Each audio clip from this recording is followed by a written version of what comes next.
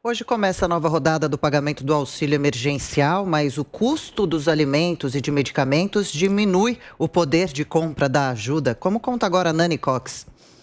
Após mais de três meses desde o último pagamento, a primeira parcela do novo auxílio emergencial começa a ser liberada hoje para nascidos em janeiro que não fazem parte do Bolsa Família.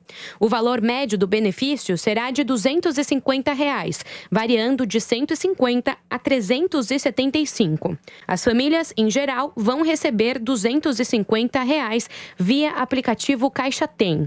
Famílias chefiadas por uma mulher vão receber receber 375 e pessoas que moram sozinhas têm direito a 150 reais. O presidente da Associação Brasileira de Educadores Financeiros, Reinaldo Domingos, afirma que saúde e alimentação devem ser prioridade neste momento.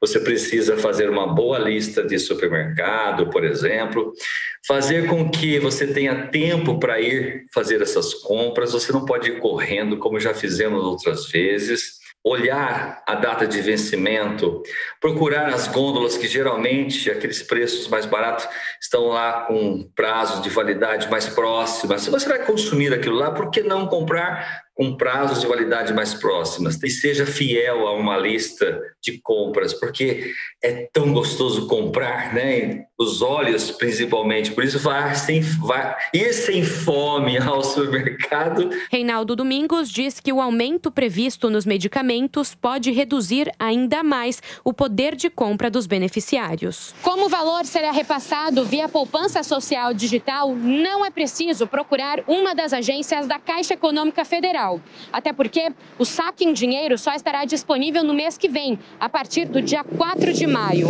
As liberações serão feitas de acordo com o mês de nascimento de cada beneficiado. Pelas novas regras, o auxílio será pago às famílias com renda mensal total de até três salários mínimos, desde que a renda por pessoa seja inferior a meio salário mínimo.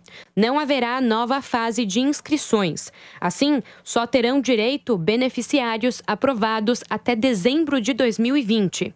Para quem recebe o Bolsa Família, continua valendo a regra do valor mais vantajoso.